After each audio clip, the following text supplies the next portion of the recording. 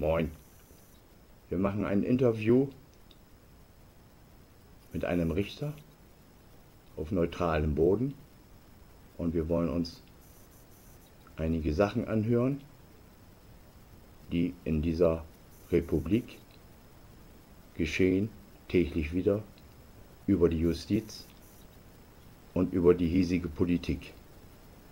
Ich stelle euch vor, Richter Heindl, AD. Er möge sich selbst vorstellen.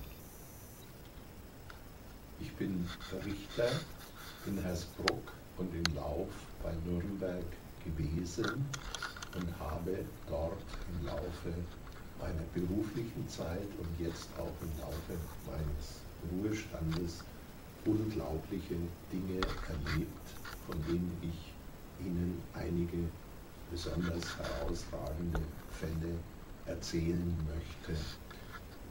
Dadurch, dass ich in Erlangen zusammen mit dem Ministerpräsidenten AD Günter Beckstein zu, äh, das Staatsexamen, das juristische Staatsexamen gemacht habe und dadurch, dass Herr Beckstein aus Hersbruck kommt, gab es Berührungspunkte und diese Berührungspunkte haben mir Gelegenheit gegeben, das Entwickeln der organisierten Kriminalität, die heutzutage die Justiz unterminiert, selbst zu erleben.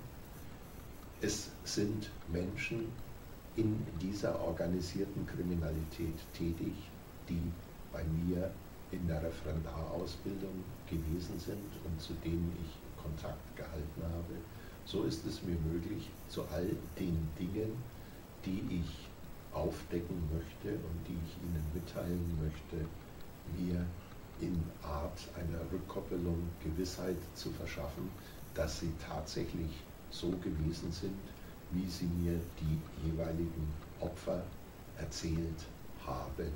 Ich kenne also immer die Rückseite der Sache und kann Ihnen diese mitteilen.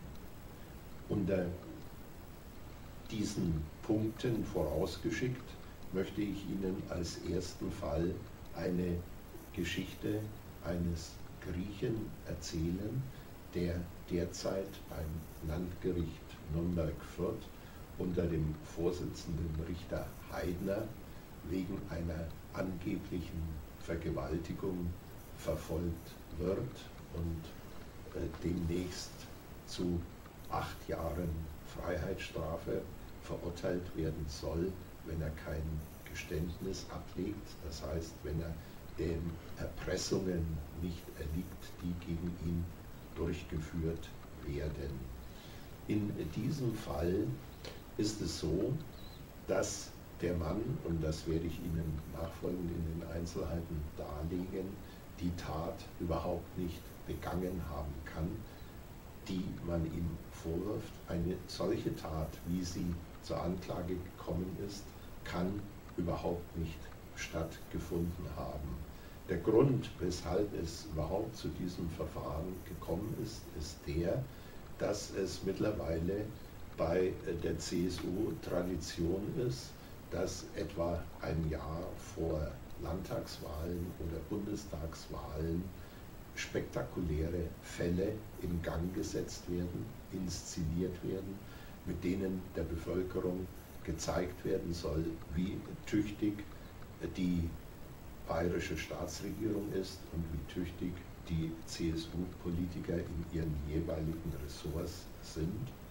Und da bedingt durch den Fall des Wettermachers Kachelmann äh, über die Frage von Vergewaltigungen und ihre Behandlung bei der Justiz in letzter Zeit viel diskutiert worden ist und die öffentliche Meinung sich mit diesen Fragen stark beschäftigt, ist bei unserer Justizministerin auch das Bedürfnis aufgetreten, einen solchen Fall zu haben und der Bevölkerung zu zeigen, wie in Bayern die äh, Ehre und Sicherheit von Frauen geschützt wird und ein Vergewaltigungsfall mit der nötigen Strenge verfolgt wird, insbesondere wenn es sich um einen Ausländer und hier um einen Griechen handelt.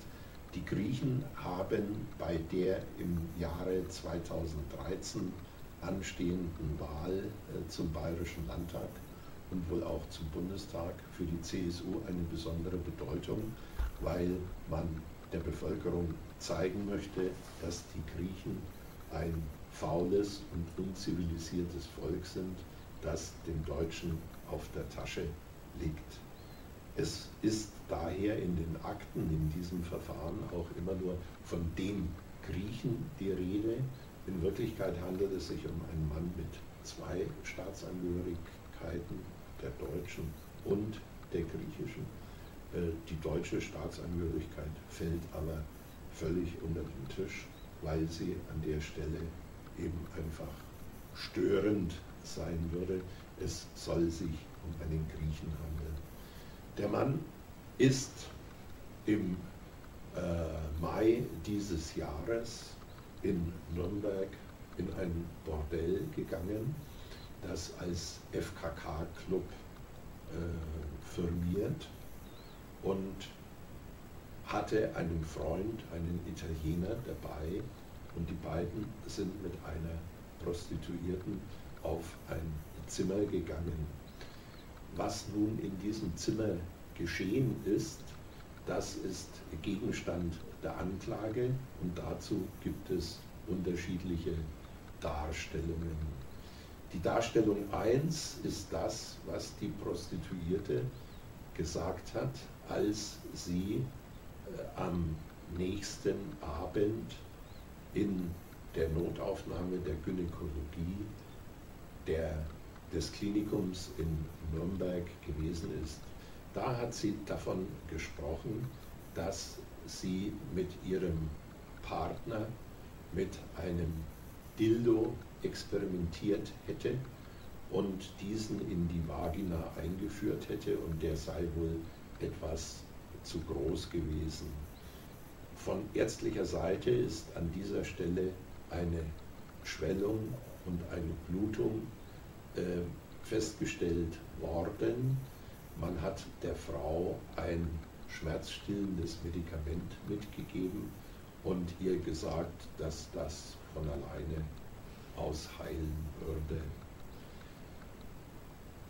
Die Besitzerin des Bordells hat aber einen Polizeibeamten wegen dieses Vorfalles zu sich kommen lassen, der von der Arbeit der Nürnberger Polizei als Betreuer für Bordelle eingeteilt ist.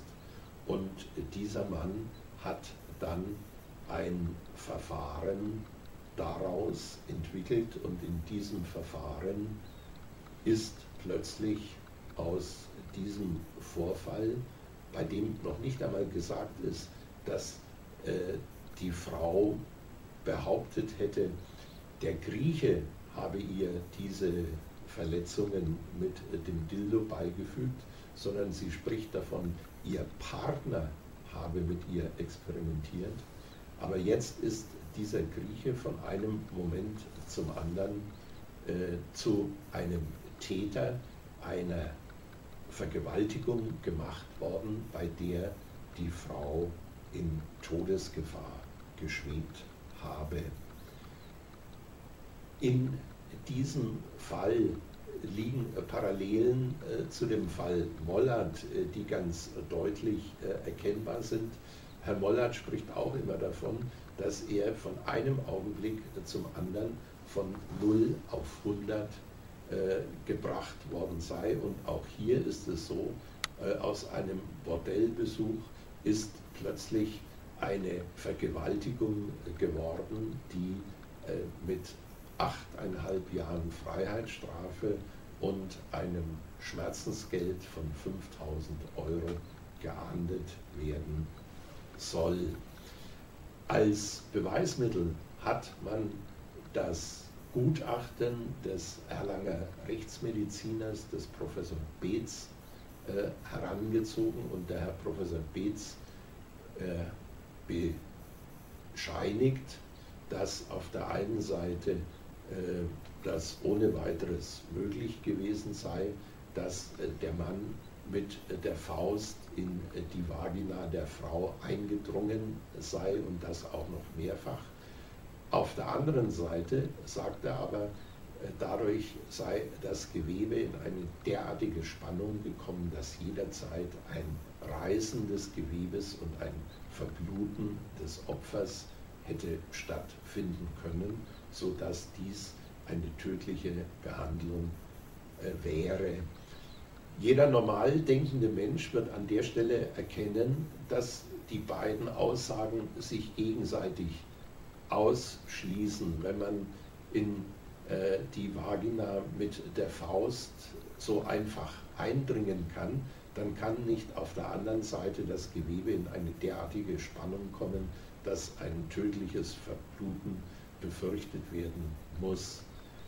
Solche Unverträglichkeiten in der Aussage von Gutachten sind heutzutage in den Gerichten Alltag.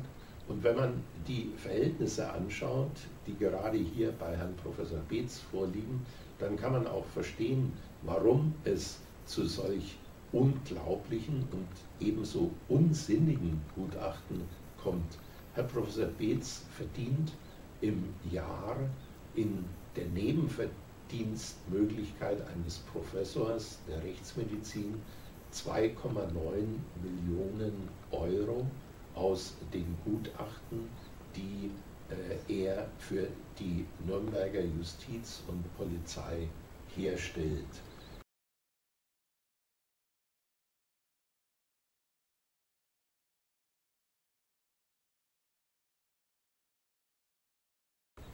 Es ist verständlich, dass ein Professor, der eine derartige Nebenverdienstmöglichkeit hat, sich seine eigene Goldgrube nicht zuschütten wird, indem er der Justiz widerspricht.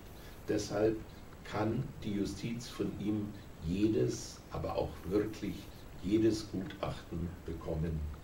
Und äh, wenn wir jetzt hier diesen Fall noch näher betrachten, dann stellen wir zum Beispiel fest, dass die äh, Sache von Anfang an inszeniert äh, gewesen sein muss, denn der Italiener, der mit dem Griechen in das Bordell gegangen ist und der die Prostituierte festgehalten haben soll, ist plötzlich verschwunden.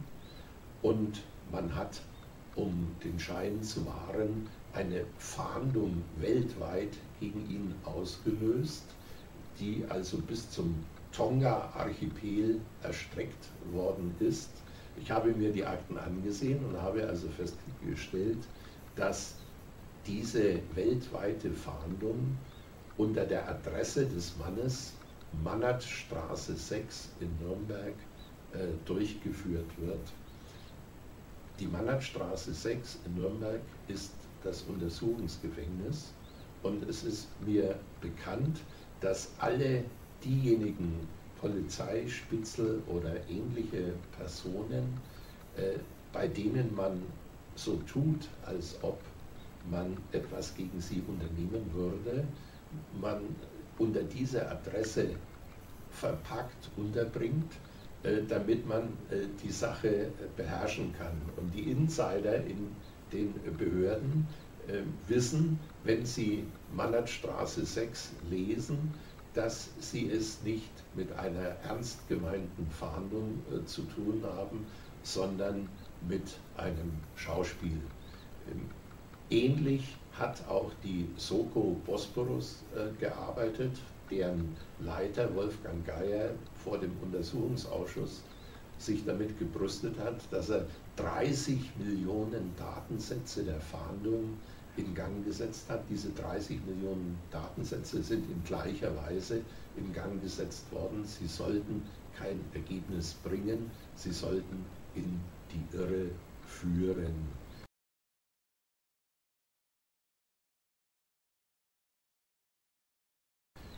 Wir müssen also davon ausgehen, dass dieses Opfer von dem Polizeispitzel in das Bordell gebracht worden ist, um das ganze Verfahren so in Gang zu setzen, wie es jetzt gegen ihn betrieben wird. Frage zwischendurch, Richter Heindl. Wird das überall so gemacht oder passiert das nur in Nürnberg? Oder ist es im gesamten Gebiet der BRID in ähnlicher Form so richtig? Beziehungsweise wird es konstruiert? Ich kann aus Erfahrung nur über die örtlichen Verhältnisse eine Aussage machen. Bei der Recherche über den Fall habe ich aber festgestellt, dass gerade die Verfolgung der Vergewaltigung heutzutage ein Problem ist, dass überall äh, die Justiz an die Grenzen ihrer Möglichkeiten führt, weil Falschaussagen sehr stark in den Vordergrund äh, getreten sind und da Machtkämpfe zum Beispiel von Ehegatten um das Sorgerecht von Kindern bei Scheidungen stattfindet und dergleichen. Das hat eine Höhe erreicht, die also sich schon statistisch bewerkbar macht. Und es gibt darüber Untersuchungen, unter anderem auch des Landeskriminalamtes in München. Aber das sind Erkenntnisse, zu denen ich eine eigene Erfahrung nicht habe, sondern die ich auch zur Kenntnis genommen habe, um mich da kundig zu machen. Okay, das war's. Weiter an Ihre Geschichte, bitte. Das wäre jetzt zu Gut. Ende. Auch in Ordnung. Dann machen wir mal einen kurzen Cut.